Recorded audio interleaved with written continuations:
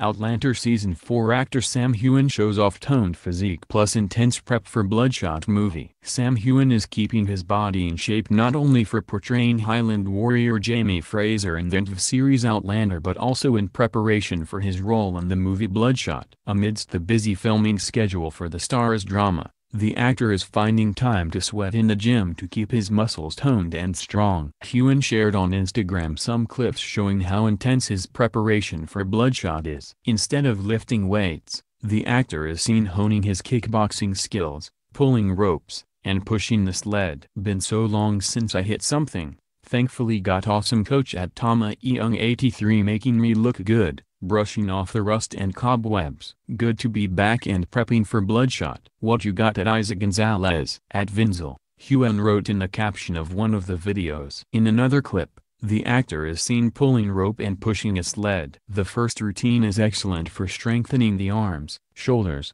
and core while the pushing of the sled is done to develop muscles in the glutes, calves, quads, and core. Watch Sam Heughan's training videos below. Valiant Entertainment and Sony Pictures hasn't officially released the details of the Bloodshot characters, except for lead actor Vin Diesel. However, by the looks of Heughan's training, he could be playing a physically grueling role. The Wrap reported that the Outlander protagonist would portray Corporal Harlan So Long Shiflett. That hashtag show described the character as a large physical specimen of pure male ego. Harlan is in his 30s and got his moniker so long from the phrase he always utter after defeating his opponents in a race or physical combat. If Sam Heughan is indeed playing this character, his kickboxing training makes sense. Bloodshot is based on the Valiant comic of the same name. It tells the story of a former soldier, Ray Garrison, Vin Diesel, who died but was brought back to life after being subjected to cutting-edge nanotechnology. Aside from resurrecting the soldier, the procedure also turned him into a fighter because of the nanobots on his body. Garrison, A. K. A.